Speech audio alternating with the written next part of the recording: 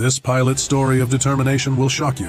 In 1942, during the World War II, a U.S. Navy torpedo bomber pilot was shot down by five Mitsubishi A6M-0s and found himself stranded in the middle of the ocean. He exited his plane and avoided the chaos of battle by hiding under his seat cushion and waited until night. That's when he opened his raft. After 30 excruciating hours, he was rescued by a Navy Consolidated PBY Catalina. His name was Lieutenant Commander George H. Gay Jr. That's why